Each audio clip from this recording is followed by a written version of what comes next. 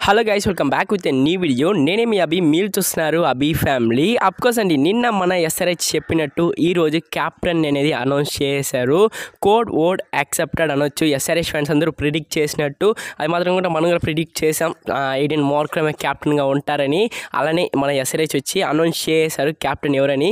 Of course నేను చెప్పాను కదా ఎయిటీన్ మోర్క్రమే క్యాప్టెన్ ఎందువల్ల ఇచ్చారంటే అఫ్కోర్స్ అతని రీసెంట్ క్యాప్టెన్సీ పర్ఫార్మెన్స్ అది ఉంటే అతను బ్యాటింగ్ పర్ఫార్మెన్స్ అతని బౌలింగ్ పర్ఫార్మెన్స్ వేరే లెవెల్ ఫామ్లో ఉన్నాడు అనొచ్చు Aiden Markram IPL twenty twenty three mission starts అనొచ్చు. ఈసారి మాత్రం ఎయిడెన్ మార్క్రామ్ మాత్రం ట్రోఫీ గెలిపించేస్తా. మాత్రం వేరే లెవెల్లో ఉన్నాడు. ఒక పీక్ ఫామ్లో ఉన్నాడు అనొచ్చు Aiden Markram wait and watch for IPL twenty twenty three ఎలా అతని పర్ఫార్మెన్స్ ఉంటుందో. అఫ్కోర్స్ ఇంకా చాలా మాట్లాడతాం అతని గురించి. మీరు కింద క్యాంపస్లో కమెంట్ చేయండి. ఎస్ఆర్హెచ్ అనౌన్స్ చేయకముందు ఎవరు క్యాప్టెన్గా ఎస్ఆర్హెచ్ కొని ఉంటారని అఫ్కోర్స్ నేను ప్రిడిక్ట్ చేసినట్టే ఎయిడెన్ మార్క్రమే క్యాప్టెన్గా ఉన్నాడు.